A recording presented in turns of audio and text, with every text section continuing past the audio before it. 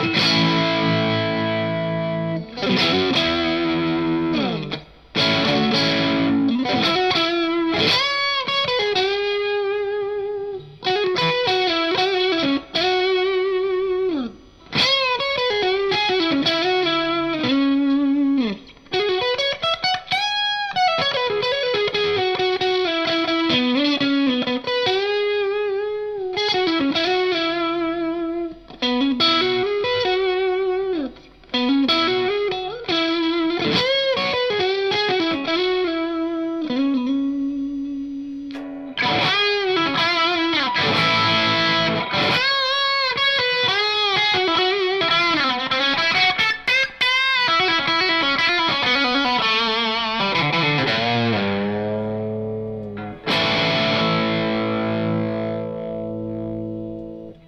Hey guys, welcome back to AMX. Today we have one of the best man-made pedal, the Kernom Ridge.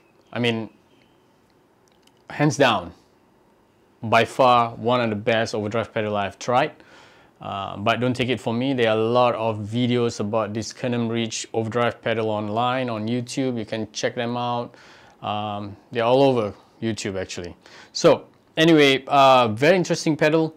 Um, but I know, but first, but first, uh, thanks to the guys at Davis Guitar to let me um, demo this. It's not going to be a long demo. It's just going to be straight right to the point on how to use it. And if you are looking for a demo about how to save like 128 presets via MIDI, you can check out online the technical uh, aspect of it and uh, whatever you want to check. But for now, I'm just going to go through the amazing tone, the amazing tones that it can produce um, on a guitar, with a guitar, not on a guitar, with a guitar. Anyway, uh, I'll be using my trusted Laney M, the L5 Studio and uh, LT112 cabinet. It's the only M I have right now, or forever.